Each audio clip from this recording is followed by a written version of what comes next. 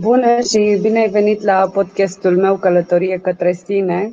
Sunt fericită să fim împreună și în seara aceasta și poate și lucrăm împreună, cum probabil deja te-am obișnuit la întâlnirile noastre, unul la unul, îmi place mie să le spun, chiar dacă suntem mai mulți, pentru că până la urmă cu toții suntem unul și călătoria noastră este extrem de similară, în ciuda obstacolelor care poate diferă modul în care noi le tratăm și modul în care noi le gestionăm este deosebit de similar, așa cum este și pentru modul în care noi le simțim. Pentru cei care nu mă cunosc și doar au aterizat aici în seara asta, eu sunt Anca Maftei, sunt psiholog clinician, sunt psihoterapeut integrativist, sunt psihoterapeut specializat în internal family systems, sunt uh, psihoterapeut uh, cognitiv-comportamentalist, hipnoterapeut și, nu în ultimul rând, facilitator de constelații familiale și sistemice. M-a întrebat cineva mai devreme ce este această metodă. Este o metodă extrem de profundă de lucru. În opinia mea, cea mai puternică metodă de vindecare a anumitor aspecte interne. Și dacă vrei să vii alături de mine și în călătoria aceasta, în lucru cu metoda constelațiilor familiale. Te aștept cu drag marțea viitoare. Am un uh, seminar online la 18.30. Să mă uit exact ce dată este marțea viitoare pentru cei care poate nu au văzut evenimentul. Da, deci este pe data de 28 aprilie la 18.30 de seminarul acesta. Ce faceți? Cum sunteți în seara asta? Și ce nevoie aveți astăzi de la mine. Mă bucur și eu, Monica. Bună și pentru mine o bucurie. Sper că ați avut uh, sărbători liniștite sau dacă nu liniștite, măcar uh, unele care să vă faciliteze aprofundarea lucrului cu sinele. Vă aștept cu drag întrebările.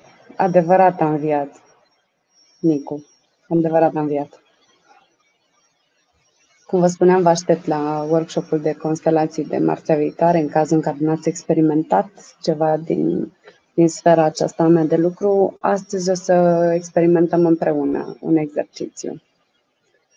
Bună seara! Bună seara! Draga, așa, dacă poți și dorești, îmi spune Maia, Poate ne mai prezinți un exercițiu pentru acceptarea sau integrarea anxietății. Îți mulțumesc. Și eu îți mulțumesc, Maia.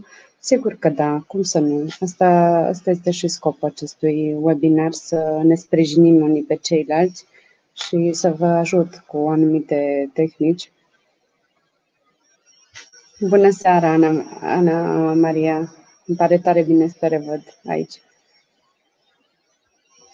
Cum sunteți? Dat fiindcă e o perioadă mai complexă, mai complicată, chiar astăzi am uh, dat și eu un interviu referitor la anumite aspecte care se nasc acum în perioada aceasta a carantinei și bineînțeles că sunt uh, și obstacole importante. Suntem fiecare dintre noi tracasați și, eu știu, presați în diferite moduri. Cum e pentru voi? Mie îmi place să fac um, o analogie, o metaforă pe care o să o numesc perla și ceapa și cred că e foarte indicată pentru perioada asta. Consider că sunt și anumite aspecte care este necesar să le uh, cunoaștem rând după rând în diferite sfere a respectivei problematici, cum sunt cepele, da? că o desfacem încet, încet și ajungem la esență și cred că asta putem face cu anumite aspecte din viața noastră care poate sunt mai dificile și poate au un, uh, să zic așa, o, o aromă pregnantă și sunt convinsă că au apărut și în viața voastră niște aspecte de tip ceapă, dar sunt și niște aspecte de tip perlă, care, uite, am și eu niște perluțe aici la cercei aceștia, care ne fac să ne focalizăm pe pozitiv, pe aspectele să zic așa, frumoase, plăcute, estetice din uh, cadrul unei problematici. Pentru că cei care, pentru cei care nu știu, perlele survin și apar uh, în urma unor, uh, să zic așa, frecușuri din interiorul unei scoici. Deci, din dificultatea aceea, din rana aceea, este totuși ceva frumos. Și așa poate puteți să vă gândiți și la momentul acesta în care suntem cu toți în carantină, suntem privați de anumite drepturi, de anumite, eu știu, obiceiuri, de anumite ritualuri, de anumite persoane dragi nouă. Și, bineînțeles, putem să ne uităm la asta din mai multe puncte de vedere și un aspect este acesta. Un aspect ceapă care ne face să ne concentrăm asupra noastră și ne face să dezvelim anumite aspecte ale ființei noastre și un aspect de tip perlă în care sunt convinsă că poate ați și descoperit ceva frumos, plăcut la voi și vă sau la viața, viața cu totul. Ar fi frumos dacă mi-ați spune asta. Între timp mai citesc dintre comentarii, le citesc pe toate, să știți, chiar dacă poate nu apare că le-aș citi, le citesc pe toate. Uite, mă întreabă Adrian cum să eliminăm energia negativă, să eliminăm durerile de cap și stresul. Mm, Adrian, poate că mm, e prima dată sau poate că nu, oricum se convinsă că este de, de folos să, să mai vorbim o dată despre viziunea mea în ceea ce privește aspectele psihismului. Eu consider că tot ceea ce se întâmplă în psihic și consider că tot ceea ce se întâmplă în viața aceasta este foarte, foarte binevenit, pentru că în spatele a tot ceea ce există este un rost mai profund și înălțător uh, pe care poate mintea noastră nu-l concepe încă. Și cred cu tărie că o anumită durere de cap sau cu stresul despre care tu vorbești nu face decât să ne ajute și să ne pună față în față cu anumite părți ale noastre. Perspectiva mea de lucru este una sistemică. Ce înseamnă asta? Înseamnă că noi nu suntem de sine stătători, ci suntem uh, parte din ceva mult mai mare. Noi suntem un organism, atât ca ființe umane interconectate, cât și ca aspecte ale ființei noastre. Chiar și eu, da, Anca sau Adrian sau uh, Bianca, da, din cei care uh, sunt alături de mine în seara aceasta, nu suntem niște, cum să zic eu, toturi unitare, ci suntem și noi în interiorul ființei noastre sisteme, da? la fel cum uh, toate organele noastre alcătuiesc un, un sistem al corpului fizic, la fel este și în uh, psihism. Și atunci, faptul că apare o anumită durere sau faptul că apare stresul, în spate nu este decât o altă rațiune pentru ca o anumită parte să fie văzută sau o altă parte să fie, uh, să spun așa, încurajată sau să fie protejată. Da? Asta în primul rând. Și atunci, automat, primul lucru pe care îl avem de reținut este că noi nu vrem să eliminăm nimic. Pentru că prima lege a sistemelor, apropo de ce m-a întrebat cineva raportat la constelațiile familiale, familiale, uh, aceste constelații, această formă de terapie incredibilă, uh, n-a făcut decât să ne arate încă o dată, într-un mod foarte, foarte ferm și foarte clar, faptul că nimic nu poate fi cu adevărat exclus dintr-un sistem. Deci nu există să, po- să poți scăpa sau elimina ceva. Pentru că chiar și atunci când tu uh, aparent elimini acel aspect, la un nivel mult mai profund el va reapărea într-o formă de multe ori uh, accentuată, avansată. Da? Este valabil și pentru familii. Atunci când este exclus un anumit membru al familiei din sistem, cum facem asta? Păi prin judecat. Da? Noi considerăm undeva că suntem superiori sau că cineva nu merită să aparțină sau că cineva, uh, eu știu, a greșit și trebuie și el marginalizat. Da? E foarte des întâlnită uh, perspectiva aceasta de excludere, da? inclusiv la nivelul popoarelor. Ei bine, acel om, acea persoană, acea energie exclusă va veni într-o generație ulterioară să reprezinte persoana uh, în cauză exclusă. Da? Deci am avut, de exemplu, un uh, unchi alcoolic, a fost uh, judecat, a fost marginalizat, nu s-a vorbit despre el. Acea energie a unchiului, destinul unchiului, dacă vreți, va fi repetat într-o generație ulterioară. Mă învălui că vreau să spun multe lucruri deodată. Da? Deci cineva îl va reprezenta. De ce? Pentru că nimic nu poate fi exclus cu adevărat dintr-un sistem. Este imposibil așa ceva. Nimeni nu poate fi exclus. Este identic și pentru trăirile noastre, pentru emoțiile noastre, pentru diferite părți dinăuntru nostru. Noi ce avem de făcut este să le integrăm, în niciun caz să le excludem, să le eliminăm. Pentru a le integra, care este lipiciul, cum îmi place mie să zic. Lipiciul este iubirea. Întotdeauna lipiciul este iubirea. Eu trebuie să devin una cu acele aspecte ale ființei mele. Ok? Și ca să facem asta, putem să facem un exercițiu acum. Uite, pentru tine special, Adrian, dar și bineînțeles și pentru toată lumea și pentru mine, inclusiv de ce m-aș uh, exclude și pe mine, haideți să ne gândim la o emoție, să aducem în uh, prim plan o anumită situație care a născut o anumită emoție în interiorul nostru, poate fi furie, poate fi frică, poate fi stres despre care m-ai și întrebat. Îți recomand să închizi ochii. Poate e mai simplu așa, să te focalizezi în interior. Inspiră profund de câteva ori. Îți poți imagina că inspiri o ceață albă și răcoroasă și expiri o ceață gri. Inspiri o ceață albă și răcoroasă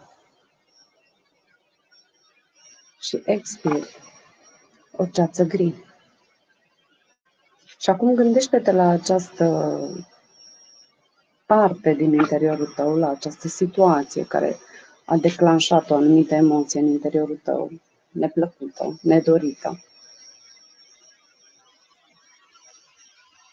Și în sine ta dă un scor acestei trăiri. Cât de intensă e acum, în momentul acesta, de la 0 la 10.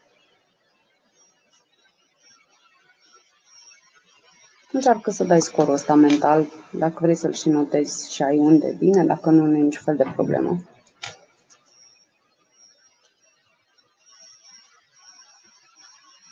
Și acum haideți să testăm această atitudine de acceptare și compasiune și să oferim exact acestei emoții, acestei părți din interiorul nostru. Și o să te invit să spui după mine, în interiorul ființei tale, acestui aspect, acestei senzații corporale și aceste emoții. Să le spui bun venit. Bine ai venit. Invită în ființa ta această emoție, această senzație. Dă-i voie să fie. Acceptă exact așa cum este. Și mai spune încă o dată, bun venit acestei trăiri. Și încă puțin. dă voie să fie. Și acum hai să testăm, să mergem mai departe și să-i spunem te iubesc. Te iubesc. Spune în sinea ta, nu trebuie să spui cu voce tare neapărat, spune în sinea ta după mine. Te iubesc. Te iubesc. Te iubesc. Te iubesc.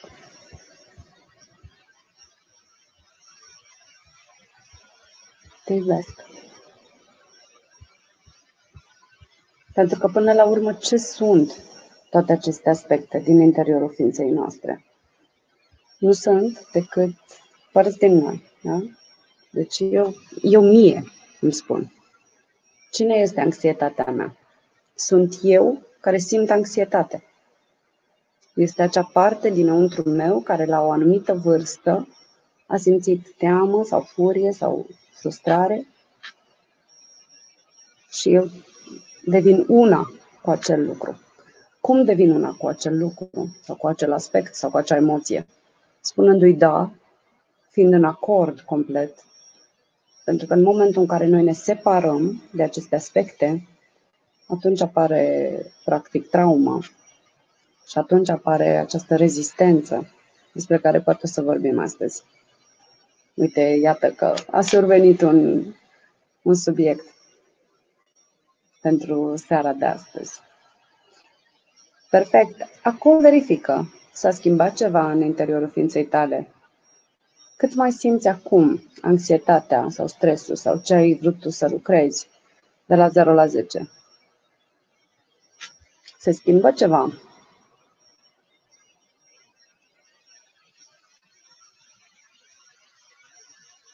Mă întreabă cineva dacă se pot viziona live-urile și după ce se termine. Da, da le, le las aici pentru ca toată lumea să poată să lucreze când vrea și când poate.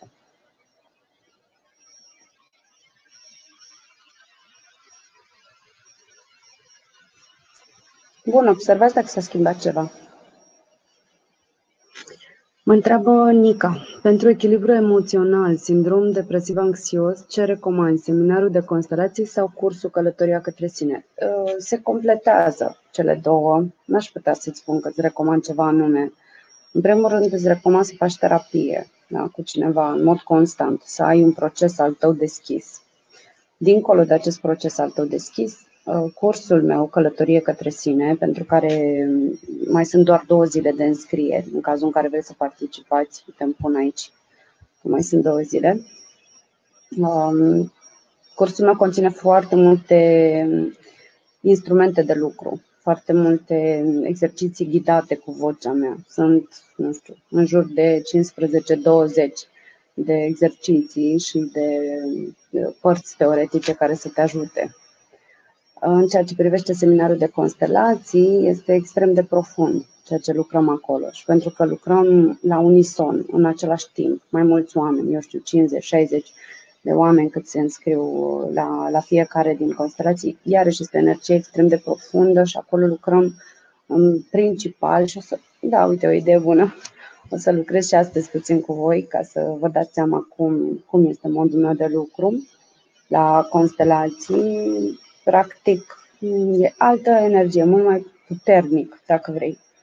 Părerea mea este să-ți urmezi instinctul, să-ți urmezi intuiția și să vezi ce crezi tu că este potrivit pentru tine, pentru că fiecare din ustensilele cu care eu lucrez merg în profunzime și sunt extrem, extrem de eficiente. Da? Și asta se poate observa din experiența ta directă, dar nu trebuie să mă crezi pe mine. Și trebuie să experimentezi și să vezi tu cum ești și cum simți după ce lucrezi.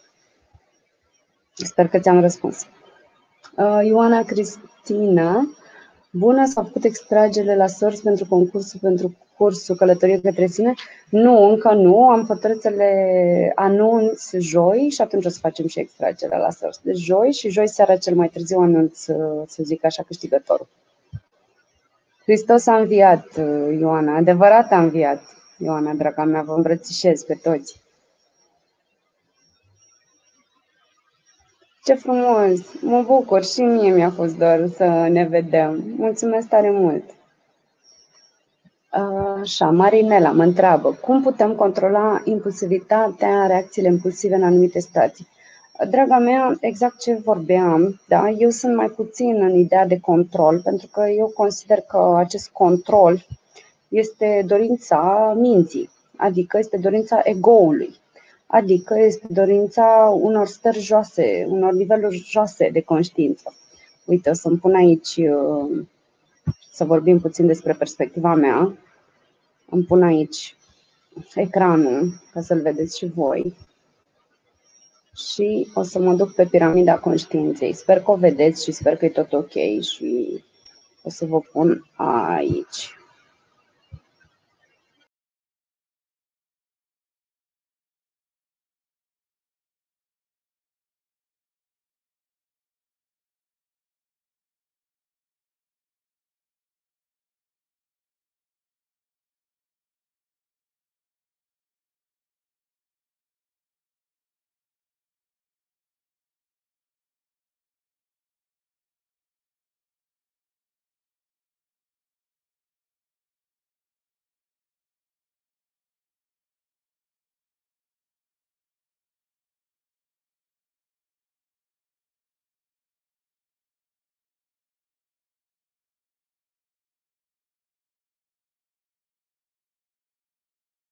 Niște stări mai puțin plăcute și care îmi blochează energia.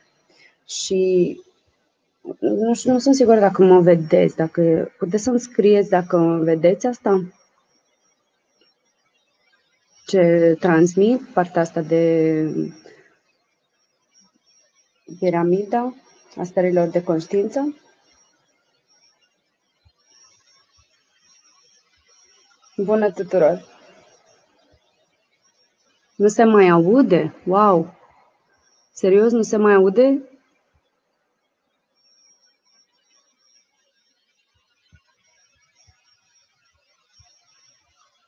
Ok, acum mă auziți? Bună, Anca! Cu tine și de la tine am învățat să integrez emoțiile. Mă bucur foarte mult, bravo!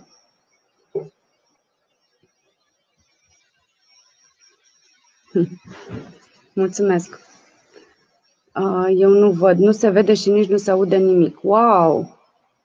Ce aiurea! Acum mă auziți, dragilor, că am închis complet uh, fereastra aceea. Nu se vede și nici nu se aude. Ok, și acum se vede? Perfect. Mm. Nu se vede. Bun. Măcar se aude.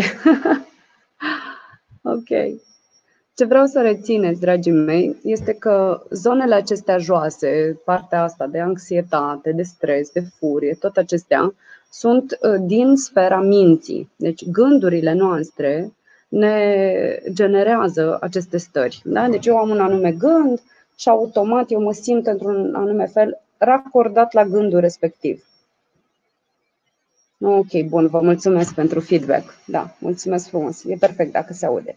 Deci asta aveți voi de reținut pentru seminarul de astăzi, pentru că mintea generează anumite uh, trăiri. Atunci când eu am anumite gânduri, automat emoțiile mele se racordează la acele gânduri. Da?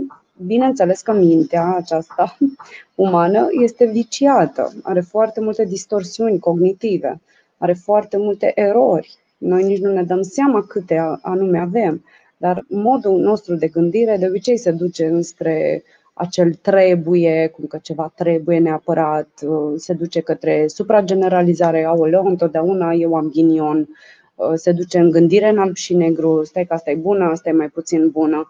Da? Are tot felul de erori și dacă începeți să, să vă uitați cu atenție la modul în care voi gândiți și să începeți să vă chestionați gândirea, o să vă dați seama că de multe ori vă minte, vă înșală, vă bagă în tot felul de scenarii, da? nu mai ieșiți de acolo. Da? Mintea ce face? Te duce fie în viitor, fie în trecut. Mintea nu poate sta în prezent, pentru că în prezent este tot adevărul, nu? Până la urmă, aici este adevărul, fenomenologic, în momentul acesta. Orice altceva este iluzie. Pentru că, cum îmi place mie să spun, da? ceea ce este adevărat nu poate fi distrus poate fi distrus doar ce este neadevărat, doar ce este iluzie. Și atunci, dacă frica poate fi distrusă, automat ea nu, nu este reală, nu există, la un nivel foarte profund. Bun, ce vreau să reținem este că există două mari forțe în acest univers care chiar și acelea fac parte din unul și același lucru. Iubire versus frică. Asta e tot. Dacă noi începem să integrăm părțile care simt teamă, automat o să rămânem în stadiile iubirii. Cum facem asta? Tot prin iubire, pentru că iubirea este lipiciu. Așa putem noi să evoluăm și așa putem să îmbrățișăm fiecare parte din interiorul nostru, pentru ca la suprafață să iasă exact lumina asta care noi de fapt suntem cu toții. Bun. Dacă vreți să ne gândim altfel, a, uite, încă o întrebare foarte interesantă la care o să răspund. Dacă vreți să ne gândim în alt mod, da? gândiți-vă că pe, pe măsură ce avansăm în acceptare și în compasiune, practic, uh, lăsăm la iveală natura noastră esențială. Asta așa, care este echilibru, bucurie, energie, calm, da? compasiune, iubire. Mă întreabă Giulia, tu crezi că emoțiile negative pot fi șterse din câmpul energetic? Eu cred foarte mult în incluziune. Cred că facem parte din sisteme da? și legea apartenenței guvernează toate sistemele. Toți au dreptul să aparțină sistemului. Da? Și dacă vrei, sistemului existenței. Noi nu putem scoate lucruri din, uh, din existență. Le scoatem aparent, ele vor veni în alte și alte moduri. Pentru că, dragii mei, tot ceea ce excludem din viața noastră și probabil că vă puteți gândi și la o situație din viața voastră când poate ați vrut să excludeți un anumit tip de om sau un anumit tip de relație sau nu v-a plăcut sub nicio formă, nu știu, X sau Y, da? și atunci va veni cineva similar sau un aspect similar în viața voastră. Nimic nu poate fi exclus cu adevărat. Absolut nimic nu poate fi exclus. Dacă există, este pentru că trebuie să existe. Da? Noi ce putem face este să schimbăm perspectiva asupra acelui aspect și să îmbrățișăm și să privim cu compasiune și cu iubire aspectele respective. Asta este ce avem noi de făcut. Da? Să ne ridicăm, dacă vrei, la, la nivelul conștiinței, în a fi în acceptare și în iubire. Pentru că dacă nu, rămânem în minte și dăm crezare minții noastre, care nu este decât un instrument pentru uh, noi, pentru a ne realiza în această viață, noi ce facem? Uh, din contră, în loc să ne folosim noi de acest instrument extraordinar care ne-a fost dat da, de divinitate, noi uh, facem exact invers. Este ca și când îți întrebi toporul sau ciocanul cum să faci casa. Asta este absurd, nu? Și totodată, exact asta facem noi. Noi ne întrebăm mintea pentru răspunsuri. Când, de fapt, dacă ea le-ar fi știut, le-ar fi știut instant și ți le-ar fi livrat instant. Dar foarte mulți dintre noi stăm și ne întrebăm mintea ani și ani la rândul pentru răspunsuri. Când toate răspunsurile sunt la nivel de sine. Acolo sunt toate răspunsurile, în inimă sunt toate răspunsurile. Da? Deci, noi ce avem de făcut este să integrăm toate aceste aspecte ale noastre, toate aceste forme ale ego-ului nostru, ale minții noastre, să le integrăm și să le, dacă vrei, subordonăm, deși nu sunt de acord cu termenul, dar asta îmi vine acum, sinelui, care este de fapt esența a ceea ce suntem noi toți. Da? Noi suntem scânteie divină, noi suntem acolo, uh, ce să zic, miracolul existenței. Și dincolo de asta, noi suntem creatori și suntem creatori și maestri ai vieții noastre, bineînțeles pe bucățica noastră, că mai există și un destin. Acum eu nu pot să creez ochii să mi fac verzi, da? este o iluzie. Dacă i-am uh, căprui, așa i-am și gata. Da? Deci pot să creez pe bucățica mea, pe care mi s-a dat să pot crea. Dar chiar și acolo suntem stăpânii vieții noastre interioare, suntem stăpânii modului în care noi putem reacționa. Dar pentru asta e necesar să integrăm aspectele acestea, să le spun așa, imature, joase. Mai răspund la câte întrebare. Anca, crezi că există incompatibilitate energetică în cuplu sau între oameni pur și simplu? Nu, cred că este aberant așa ceva. Uh, și mie mi s-a zis de foarte multe ori, mai mulți oameni care fie aveau uh, clar vederea deschisă sau, în fine, lucrau cu mai multe, uh, să le zic așa, instrumente energetice, uh, acest lucru. Nu sunt de acord. De ce? Pentru că eu cred că tot ceea ce se întâmplă este subordonat voii divine. Și dacă un anumit lucru sau un anumit aspect sau o anumită persoană a venit în viața mea, este necesar ca eu să am o atitudine de acceptare a ceea ce se întâmplă tocmai pentru a mă putea elibera eventual dintr-o astfel de situație sau pentru a putea înflori în acea situație. Da? Deci eu trebuie să păstrez orice ar fi o atitudine de bunăvoință și de acceptare față de tot ceea ce este. Dacă eu mă apuc să pun uh, eticheta că sunt incompatibilă cu X sau Y sau sunt incompatibilă cu serviciu, că mi-a zis uh, cineva, fie mintea mea, fie mintea unei alte persoane, rămân totodată într-un stadiu al ego-ului. Da? Rămân într-un stadiu al minții umane și atunci nu cred că se întâmplă foarte multe lucruri. Ba mai mult, atunci când eu pun această etichetă de incompatibilitate energetică, practic eu ce stare am? Da? E foarte importantă întrebarea asta, să vă adresați. Ce stare îmi dă mie acest gând? Dacă eu gândesc așa, ce emoție am? Cum sunt eu? Și apoi pot să mă mai întreb, cine sunt eu fără gândul ăsta? Cine aș fi eu fără să gândesc așa? Cum ar arăta viața mea fără gândul acesta? Pentru că atunci când eu spun sunt incompatibil uh, energetic cu Gigel sau cu Costel, e foarte posibil ca tocmai acest gând să-mi dea mie o stare de anxietate sau de furie sau de uh, non-acceptare. Înțelegi ce spun? Deci mă ține într-un stadiu al fricii. Sper că ți-am răspuns. Nu cred așa ceva. Nu cred așa ceva. Cred că fiecare om are uh, rolul lui în viața noastră, rostul lui. Nu a venit întâmplător, poate a venit doar să-mi arate niște aspecte ale ființei mele la care am de lucru. Da? Deci nu e nimic, uh, să spun așa, la nelocul lui în această realitate. Pentru că realitatea este Dumnezeu. Da? Asta este perspectiva mea, nu trebuie să o îmbrățișezi. Dar realitatea este Dumnezeu. Deci Dumnezeu a permis ca tot ceea ce este să se întâmple. Și atunci cine sunt eu să mă împotrivesc acestui aspect și să zic eu că nu, că de fapt nu e așa, deși omul a venit în viața mea. Nu știu, sper că am fost destul de clară. Eu cred că trebuie să spunem da la tot ceea ce este și abia după ce am acceptat tot ceea ce sunt, tot ceea ce uh, e în preajma mea, tot ceea ce manifest eu în viața mea, conștient sau inconștient, abia apoi pot să schimb ceva. Da? Pentru că eu, ca să pot să creez realitatea, este necesar să fiu la un nivel înalt de, de conștiință. Da? Trebuie să fiu conștient, ca să pot crea conștient. Pentru că altfel eu creez, dar creez într-un mod inconștient. Când rămân la stadiile acestea ale minții, da? și când stau în frică, în tensiune, în non-acceptare, etc., creez, dar creez inconștient. Și atunci, ghiși ce, poate că nu o să-mi placă foarte mult ce am creat. Mă uit în viața mea și zic, oh, not ok. Da? Și tocmai de asta noi trebuie să lucrăm foarte mult la a deveni mai conștienți, mai prezenți. Uh, Julia mă întreabă, tu cum îți explici furia, agresivitatea permanentă a cuiva?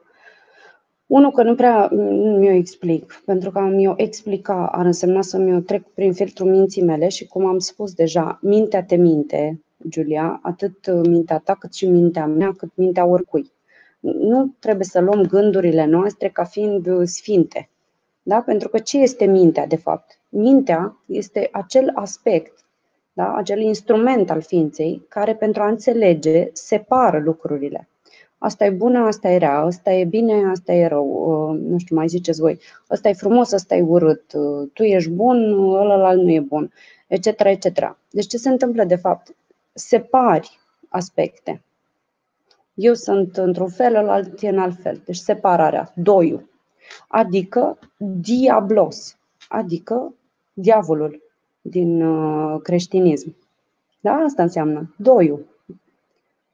Diablos adică mintea, adică separarea. Și atunci dacă eu, uh, Julia, ar trebui să-mi explic uh, chestiuni din psihismul unui alt om, atunci eu sunt iarăși în minte. Acum, din păcate, din păcate, este în continuare psihologia. E încă foarte prinsă în minte și încearcă să înțeleagă și să explice. Nu, nega, nu neg importanța acestor aspecte, mi se pare deosebit de important, dar nu e totul. Nu e totul. Bine? Deci nu-mi explic furia și agresivitatea permanentă a cuiva.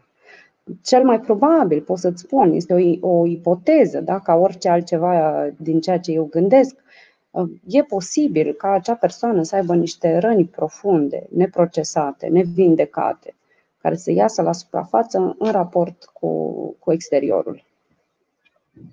Sper că ți-am răspuns, draga mea le mai iau de la început cât mai pot.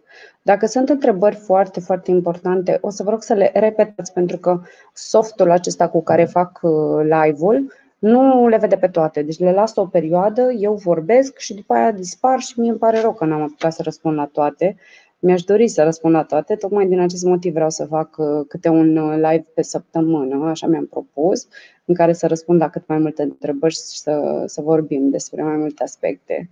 Da? Deci, fie am invitați alături de mine, fie o să le susțin eu și vă răspund eu la întrebări. O să vedem pe parcurs. Ok, aici asta cu nu se vede, nu se vede, cam așa, întrebări, nu știu dacă mai sunt, hai să vedem, s-a întrerupt. Ok, uite aici, Miroslava. Bună, Anca. Bert Hellinger spune că cel care iartă se pune deasupra celorlalți. Care e părerea ta? Uh, este aceeași. Pentru că a ierta pe cineva presupune ca eu să ofer acelui om din bunăvoința mea, din minunăția inimii mele, bla bla bla. și atunci automat mă plasez undeva superior față de celălalt. Da? Ca și când celălalt este ultimul om, mi-a greșit, eu sunt o zână, o, un, un miracol, o minune de la Dumnezeu și din prea plinul inimii mele îl iert pe bietul sărăntoc. Da?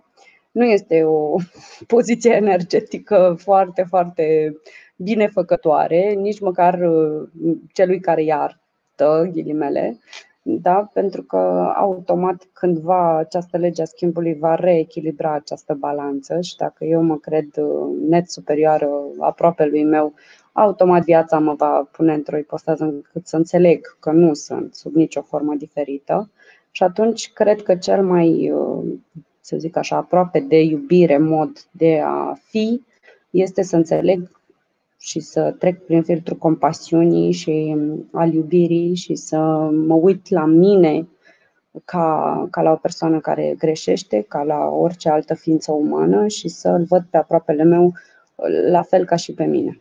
Da? Nu e dreptul meu să iert nimic. Pentru că și dacă mi s-a întâmplat X lucru și cineva mi-a greșit, sunt convinsă că mi-a greșit și pentru că reflectă anumite aspecte ale vieții mele sau ale destinului meu. Da? Deci nu, nu aș uh, putea să spun că eu iert pe nu știu cine. Și chiar dacă apuc să spun asta, o spun tot de la nivelul minții mele, în care eu spun că X a greșit și eu sunt uh, minunată. Da? Sper că am explicat cât am putut eu de clar. Mulțumesc și eu!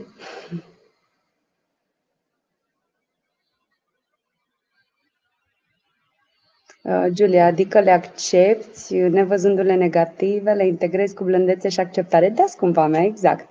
Asta este, despre asta este și uh, cursul meu, Călătorie către sine. Vă spuneam că mai sunt uh, două zile de înscrieri, dacă vreți să veniți alături de noi în călătoria asta de 30 de zile. Asta facem, pentru că o să vedeți dacă lucrați cu mine și poate lucrăm și astăzi un pic, o să vedeți că în spatele fiecarei emoții, este acolo o parte din voi, de la o anumită vârstă, de cele mai multe ori un copilaș, care simte acele emoții și noi nu îl excludem pe acel copilaș, ci din contră, îl luăm aproape de noi, în inima noastră. Da? Și el ulterior o să se simtă iubit și o să se simtă văzut și automat când ești iubit și văzut, nu mai simți teamă, nu mai ești singur. Asta se întâmplă cu toate aspectele vieții noastre, da? prin iubire și prin acceptare.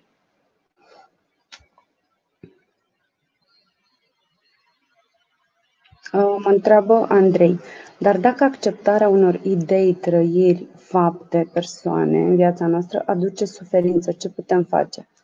În primul rând, acceptăm suferința noastră, acceptăm faptul că trăim suferință sau că simțim durere, pentru că, de fapt, Andrei și celor care ne urmăresc în seara asta, e foarte important să știi că majoritatea problemelor în lumea asta ale noastre, ale ființelor umane, vin din faptul că noi nu acceptăm ceea ce se întâmplă. Deci vin din rezistență. Eu rezist faptului că simt anxietate. Și de acolo apar foarte, foarte multe blocaje. Da? Pentru că eu, opunând rezistență la ceea ce este, dau forță aspectului căruia mă opun. Da, aș vrea să facem acum, dacă am fi în mediul non-online, în mediul fizic și am putea să facem asta, o să vedeți că cu cât opuneți rezistență, cu atâta îi dați putere celui care vă împinge. Pe când dacă îl lăsați să fie, o să vedeți că puteți să ripostați într-o altă formă. Este clar, e legea fizicii și e valabilă și în psihic. La tot ceea ce rezist, persistă. Și atunci, um, Andrei, dacă aduce suferință, accept suferința. Da? Întorc și celălalt obraz, dacă vrei. În sensul ăsta. Deci mă las, curg, în sensul ăsta. Nu pun rezistență. Și o să vezi că din intenția ta ulterioară, după ce tu ai deja un nivel, um, să zic așa, al conștiinței înalt, da, unul de acceptare, de, de bunăvoință și de iubire, automat nu are ce să ți se mai întâmple de acolo. Pentru că tu ulterior o să pui altă intenție da? în care să-ți fie bine, spre binele tău superior și să vezi că lucrurile o să se relaxeze de acolo. Da? Eu nu spun acum să accepti în sensul de să fii ok cu orice se întâmplă, ci să ai atitudinea de acceptare față de tot ceea ce este și mai ales atitudinea de acceptare și de iubire față de tine însuți. Iar dacă o situație sau o persoană din viața ta îți provoacă durere, accepti faptul că îți provoacă durere, accepti durerea din interiorul ființei tale și ulterior accepti și faptul că trebuie să pleci de acolo, să te distanțezi.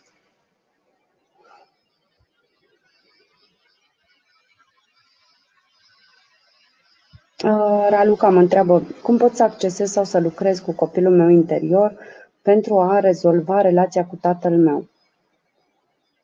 Um, te aștept, unu, te aștept la cursul meu Călătorie către sine și doi, e foarte important să vedem ce se întâmplă acolo în relația cu tatăl tău, pentru că dacă e foarte multă traumă neprocesată, primul pas ar fi să lucrezi cu un terapeut pentru a procesa tot ce se întâmplă acolo, tot ce este acolo în psihismul tău. Altfel e necesar să iei foarte clar decizia, pentru că de noi depinde întotdeauna, să luăm decizia de a fi bine, decizia de a ne poziționa corect față de părinții noștri.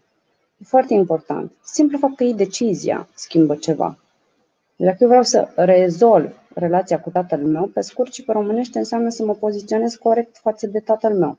Ce înseamnă asta să mă poziționez corect? Păi înseamnă în primul și în primul rând să îl accept exact așa cum este și să-l onorez pentru faptul că datorită lui eu exist.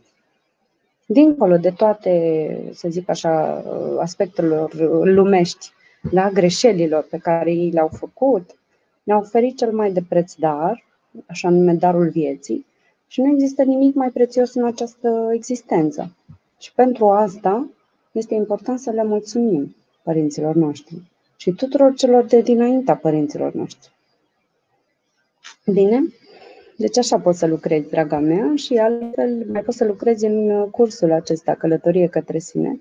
O să vă pun și uh, un link aici, în cazul în care poate cineva nu l-a văzut sau nu l-a citit până acum, las aici. Mulțumesc și eu. Citesc toate mesajele, să știți. Elena mă întreabă ceva. Bună, Elena. Cum să acceptăm la ceilalți incapacitatea de a ne fi alături, de a fi conectați profund cu noi și de a ne, a ne iubi cum avem noi nevoie? Cum să acceptăm la ceilalți incapacitatea? În primul rând, când vedem ceva la un alt om, e foarte important să ne notăm undeva, pentru că acel lucru vorbește despre noi înșine. Și să vedem, poate nu cumva e despre mine această incapacitate. Întotdeauna când avem un gând, e foarte important să facem și uh, inversul gândului. Dacă eu spun despre un om, uh, acel om mă rănește, trebuie să fac întotdeauna inversul acelui gând și să spun, oare eu mă rănesc eu pe mine? Și să mă întreb, oare e adevărat asta? Da sau nu? Poate că eu mă rănesc pe mine și proiectez asupra celuilalt această realitate. Faceți această, um, ce să zic, schemă, acest exercițiu. Întotdeauna când spun despre celălalt un lucru, să nu cumva să nu mă uit și la mine, întotdeauna să mă uit. Deci dacă eu vorbesc despre incapacitatea unui om de a ne fi alături, oare eu îmi sunt mie alături? Da? Doar mă întreb. Ok? Iar uh, în partea a doua, când spui cum să acceptăm la ceilalți, pur și simplu iei decizia că tot ceea ce este, este realitatea și tot ceea ce este, este perfect deja. Pentru că realitatea este Dumnezeu sau realitatea este divinitatea sau realitatea este ceea ce trebuie să fie.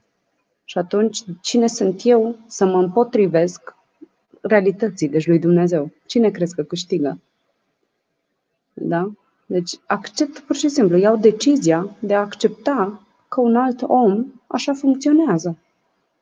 Bun, a accepta nu înseamnă să mai și fiu acolo. La fel de bine pot să iau decizia de a accepta faptul că am nevoie să plec. Dar în niciun caz să, să, să-mi doresc orice preț să-l schimb pe celălalt, pentru că așa ceva nu se poate.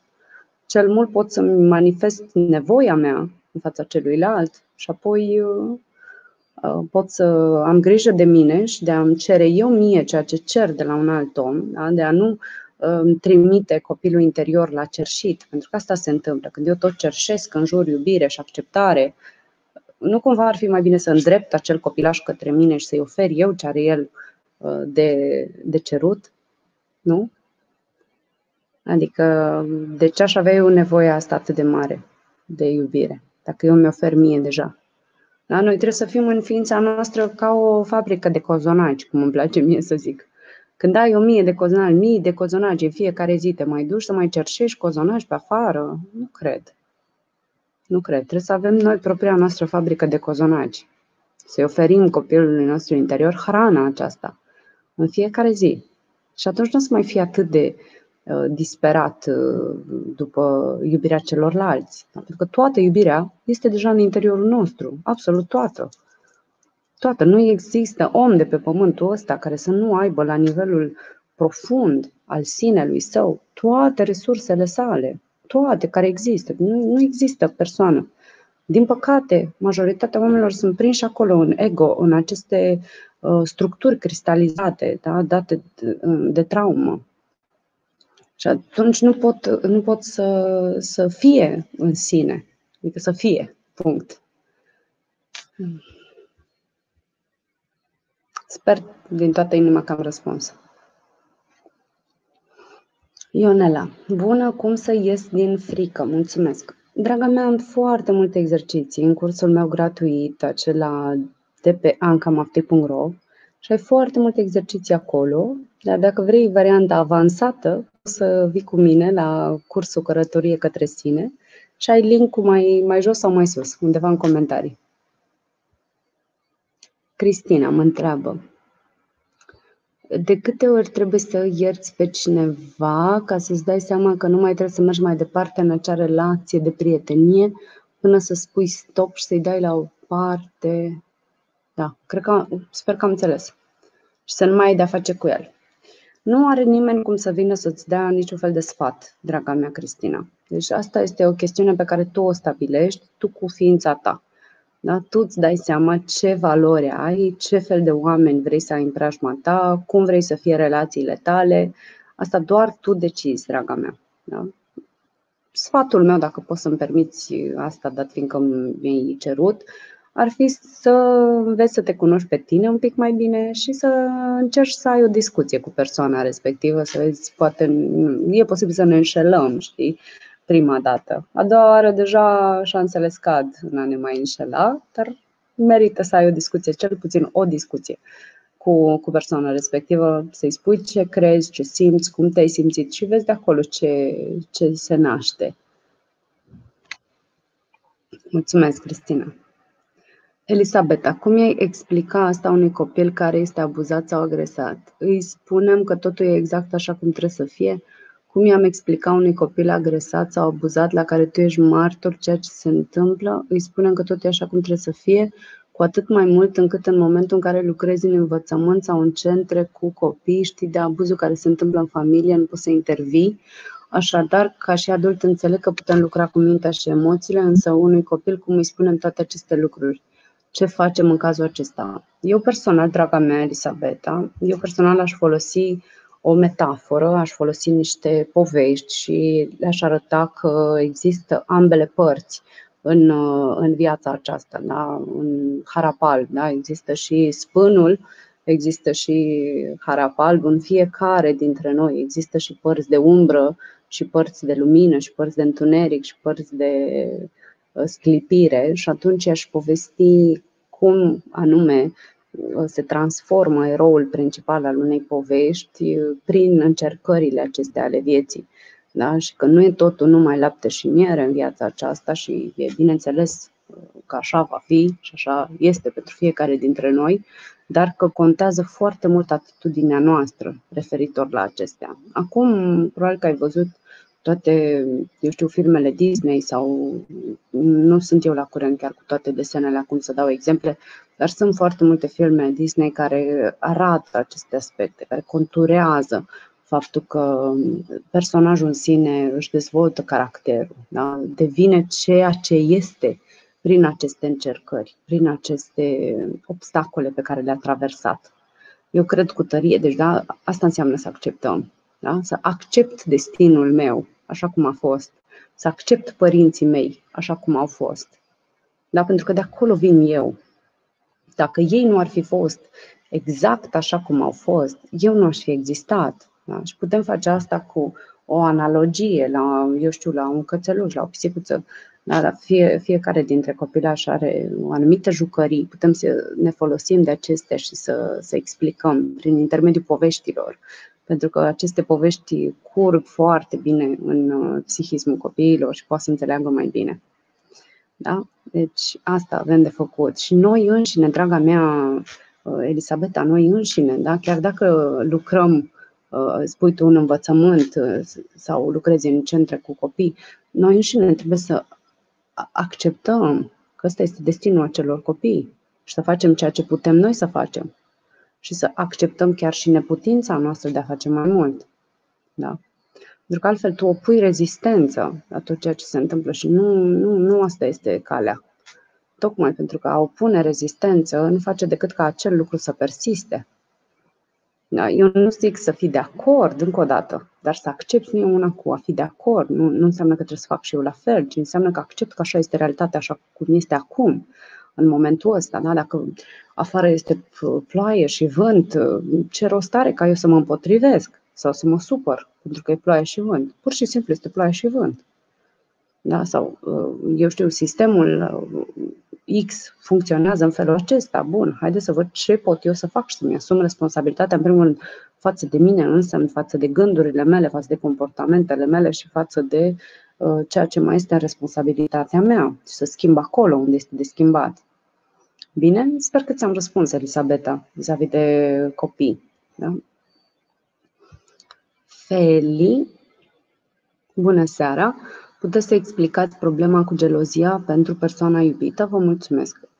Draga mea, în ceea ce privește această gelozie, de multe ori, nu zic că este vorba în toate cazurile, dar de multe ori sunt uh, răni profunde din relația noastră cu îngrijitorii noștri, cu părinții noștri, care se manifestă ulterior în relația de cuplu. Deci probabil că acolo trebuie să ne uităm la felul în care a decurs relația cu părinții noștri, cum am primit iubire de la dumnealor, cum a curs această iubire în sufletul nostru, dacă nu cumva acolo a rămas un copilaj care tânjește după validare, după afecțiune. Da? Și s-ar putea ca o parte din noi să, să resimtă această nevoie foarte profundă și să învățăm, asta este sugestia mea, să învățăm să lucrăm cu aceste părți. Uh, Tibi, bună seara! Crezi că un om poate fi influențat la nivel energetic subtil și de alte forțe a naturii și nu doar de persoana lui, ori de alți semeni? Mulțumesc! Uh, da, desigur, sunt convinsă că suntem interconectați în vari moduri. Uh, Julia, practic totul e să nu reacționezi la stimul care nu-ți plac, să lași să se treacă prin tine. Da, exact, ceva de genul acesta. Putem face un exercițiu dacă vreți. Haideți să vedem. Gândiți-vă la o emoție la care voi ați opus rezistență sau la o anumită, eu știu, situație sau la un anumit aspect dinăuntru vostru sau nu neapărat, la care voi ați opus rezistență. Da, de exemplu, nouă nu ne place, nouă oamenilor, nu ne place să simțim uh, anxietate sau nu ne place de multe ori să simțim furie. Și atunci opunem rezistență acestor aspecte. Gândiți-vă la ceva la care opuneți rezistență și vedeți unde o simțiți în corp.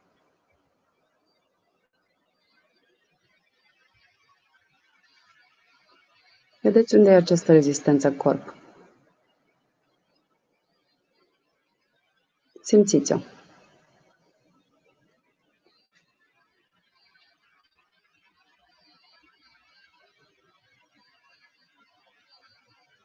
Și acum spuneți da. Dați voie să fie. Dați voie să simți această rezistență. dă voie să fie și invit-o la masa ta. Noi opunem rezistență rezistenței. Haideți să învățăm să-i spunem da. Și încă puțin. dă voie acestei rezistențe să existe. Și acum, ei putea da voie să plece? Doar ia decizia, atât. Dă voie acestei rezistențe să plece.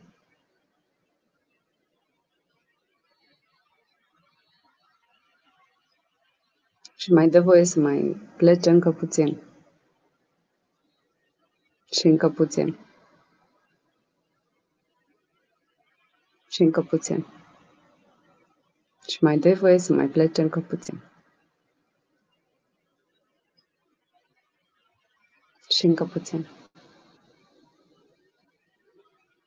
Și încă puțin. Și acum dă voie acelui aspect pe care tu voiai să-l respingi să existe. Îi dai voie să fie acelui aspect? Spune da acelui aspect. Și mai spune da încă puțin. Și încă puțin.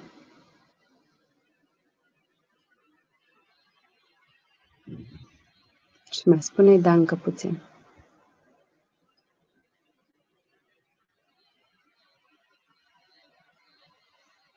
Și încă puțin.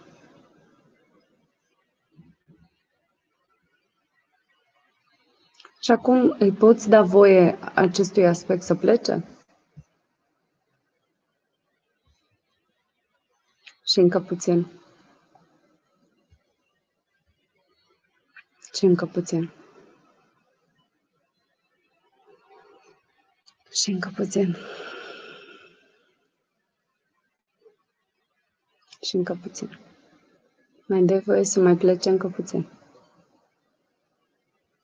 Și zim ce ai observat după acest scurt, foarte scurt exercițiu. Dacă a lucrat cineva cu mine, o să vă rog să-mi scrieți la final cum a fost.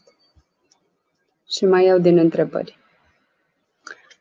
Mary mă întreabă, de unde poate veni teama cum că băiețelul meu de 2 ani ar putea păți ceva rău, deși el este perfect sănătos și n-a avut vreodată vreo problemă. E o grijă excesivă? Da, draga mea, pot veni. Deci toate temerile noastre vin din mintea noastră. Adică vine mintea și ne bagă un scenariu de ăsta. Dar te-ai gândit la aia? Dar la aia te-ai gândit? Dar ce zici? Poate ar păți ceva. Mintea este un instrument care își găsește toate informațiile numai și numai în trecut. Nu este posibil ca mintea să rămână în momentul prezent. Mintea se duce fie în viitor, care încă nu există, fie în trecut, care, bineînțeles, nu mai există, este înghețat. Noi nu mai avem acces la trecut. Avem cel mult acces la opinia noastră despre ce s-a întâmplat, la amintirea noastră despre ce s-a întâmplat. Ok? Deci nu mai avem acces la ele. Iar mintea aduce imagini din trecut, de exemplu, mi s-a întâmplat mie ceva, nu știu, să zicem, am căzut de sus din copac și apoi iau imaginea asta și o mut, dar dacă ar cădea copilul meu din copac? Aha, iau imaginea asta și o mut. Deci asta face mintea. Ia imagini din trecut și ți le plasează ție ca ipoteze. Păi, dar la asta te-ai gândit, dar la aia altă te-ai gândit, dar mai ții tu minte cât ți s-a întâmplat nu știu ce acum 20 de ani, uite, s-ar putea să-i se întâmple și copilului tău. Deci fie sunt niște procese acolo în interiorul ființei tale care încă nu au fost reglate da? și pentru asta îți recomand încă o dată terapie, uh, psihoterapie, important să menționez asta, și sau doi, s-a întâmplat ceva în neamul tău, da? în familia ta. Trebuie văzut, trebuie investigat, trebuie e interesant de văzut. Da? Pentru că la nivel sufletesc noi de multe ori avem niște așa zise intuiții, vin informații din câmpul energetic al familiei. De multe ori ne informează. Nu știu, n-aș ști să-ți spun în cazul tău de unde se trage. Tocmai de asta trebuie să lucrezi cu cineva, cu un ghid care să aibă și habar de zonele astea. Da? Deci, te îmbrățișez, Mary, sper că ți-am, ți-am răspuns. Anca, te îmbrățișez. Ai vreo practică sau vreo recomandare pentru a atrage un partener potrivit? Eu, aici sunt mai multe aspecte. Mm, unul, ce înseamnă potrivit? Pentru că potrivit pentru mine e una și potrivit pentru uh, divinitate, să zicem, e alta. Deci n-aș ști să răspund la ce înseamnă potrivit. Doi, a atrage. Aici ține foarte mult de a atrage un lucru, ține foarte mult de a renunța la dorința din spate. Deci eu trebuie să renunț la dorința de a mai avea un partener. Mai precis, trebuie să fiu în acceptare cu ceea ce este acum în viața mea. Și trei, ca să o iau așa pe trei planuri rapide, trei este să am intenția foarte curată, foarte clară, da? eu îmi dau mie voie să, și în intenția asta poți să uh, pui o practică și pe mine, cel puțin, m-a ajutat acatist din uh, uh, credința creștin-ortodoxă. Asta m-a ajutat pe mine, un acatist. Și mai în speță, pentru a atrage un partener potrivit, uh, acatistul Sfântului Simon Zilotu. Asta îți recomand ca practică, dar nu înainte de a renunța la dorințe. A renunța la dorințe, dacă vreți, dragii mei, poate fi și pentru cei credincioși, poate fi ceva de tipul las, Doamne, în mâinile tale. Cam asta îmi doresc eu, dar las, Doamne, în mâinile tale uh, acest aspect. Da, asta este de foarte, foarte mare ajutor, pentru că mult din ceea ce se cheamă problematică a noastră este la nivelul minții noastre și noi încercăm să le rezolvăm tot de la nivelul minții noastre și atunci nu cred că ne ajută foarte mult aspectul ăsta. Sper că ți-am răspuns, draga mea. Uh, Claudia, cum să nu mai am nevoie de afecțiune? Parcă asta mă umple că cred că problema e la mine, ar trebui să opresc această nevoie cumva. Nu ai cum să o oprești, scumpa mea, este inerent umană. E firesc, trebuie să o accepti, să accepti că există o parte din tine care are această nevoie.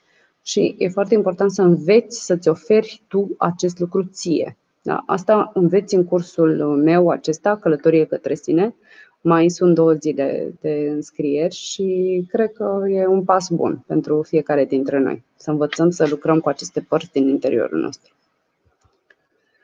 Mulțumesc și eu, Silvia Araluca.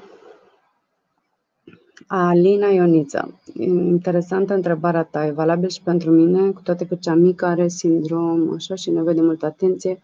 Am lucrat cu anxietatea mea să o accept și apoi să văd ce pot face eu, ce pot controla și ce nu. Bravo!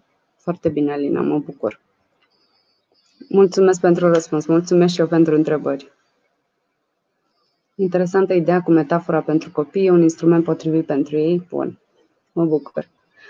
Uh, Ioana, cum lucrăm cu timiditatea? Tot așa, lucrând cu partea din tine care simte timiditatea. Da? Văzând când a apărut această parte, de unde a învățat așa, la ce o ajută această parte. Ok? Deci poți să vii și tu la cursul meu, Călătorie către sine, uh, Iohana. Începe pe 25 și durează o lună și ai acolo mai multe instrumente și o să fie și foarte mulți oameni care lucrează cu ei înșiși acolo. Sorina. Îți mulțumesc tare mult, Sorina.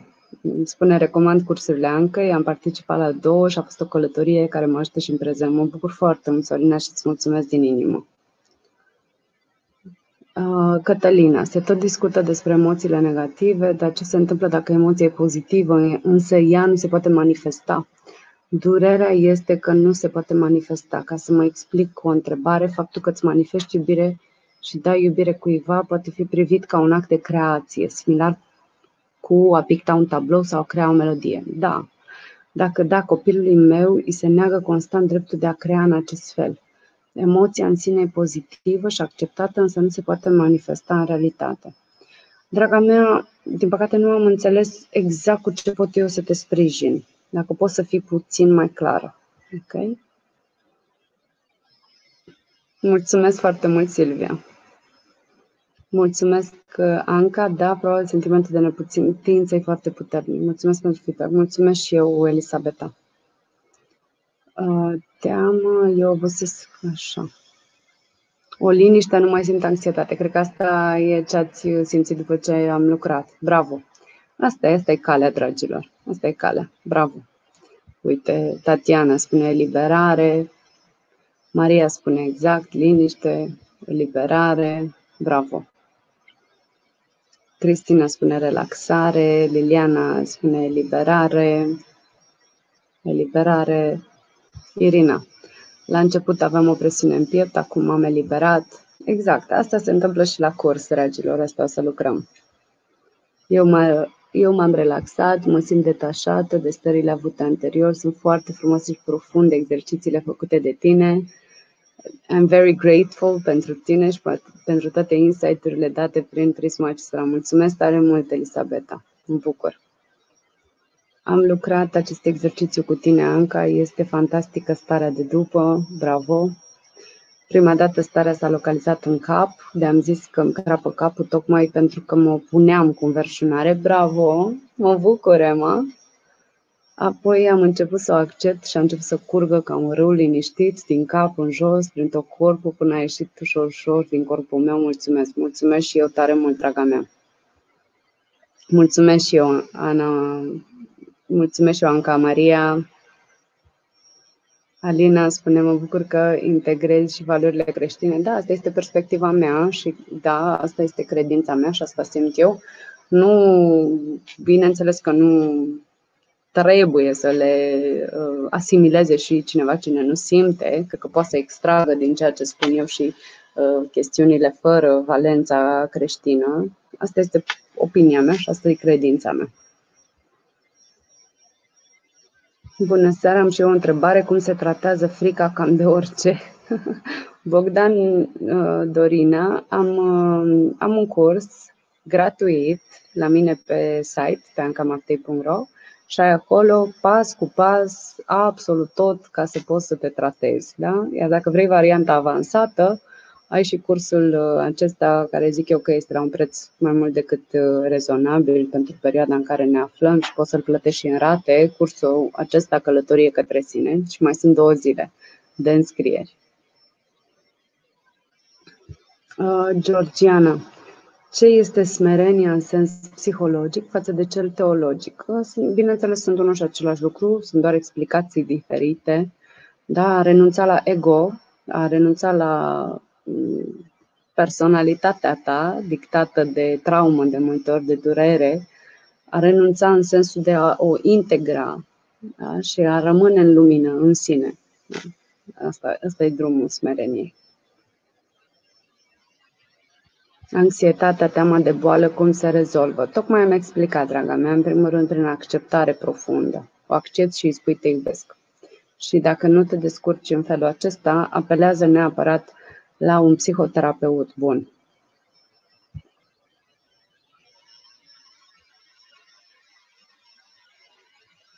De ce atragem parteneri care sunt angajați în alte relații, romantice sau căsătorie?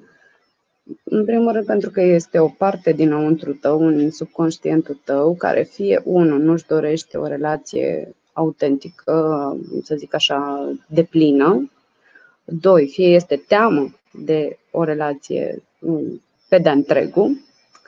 Trei, nu considerăm că merităm lucrul respectiv. Patru, e posibil ca în ființa noastră uh, undeva să credem că suntem mai puțin merituoși decât altcineva, în principiu vis-a-vis de persoana care este în relație cu partenerul nostru oficial și multe, multe, multe, multe alte motivații. Asta nu arată decât că nu există un singur răspuns pentru o anumită circunstanță, pentru o anumită situație. Mulțumesc și eu. Da, Mădălina, există ego, adică este mintea. Cristiana, mulțumim pentru timpul tău și pentru dăruirea ta. Mulțumesc și eu tare mult și eu vă mulțumesc tuturor și sper să vă fie cu folos toate aceste discuții. Uh, din păcate am depășit timpul alocat uh, serii acestea, dar nu-i bai că ne vedem și săptămâna viitoare. Mi îmi face mare, mare plăcere să fim împreună, ca de fiecare dată. Cum a fost pentru voi? Păstrați întrebările și pentru săptămâna viitoare. Sper că v-a, v-a fost de folos. Pentru mine e minunată energia, ca întotdeauna. Data viitoare să mai lucrăm împreună. Sper să vă fi răspuns la multe din întrebările voastre. Stanca mă întreabă de ce resping orice relație. Draga mea, e posibil să fie teamă acolo în spate, trebuie să vezi. Sau este ceva din neamul tău, în sensul în care poate cineva n-a avut o relație. Trebuie să vedem. Dacă îi te aștept la cabinet, vă aștept pe toți la, la cabinet, cei care vor să lucreze mai în profunzime. Vă îmbrățișez atunci. Să aveți o seară minunată, ca întotdeauna. Da, puteți asculta iar live-ul, le las pe toate aici în Facebook. Vă iau în inima mea pe toți. Vă aștept la curs, la călătorie către sine, dacă vreți să vă înscrieți până pe data de 23 inclusiv. Și să ne vedem cu bine la următorul călătorie către sine. Vă pup, să aveți o seară minunată!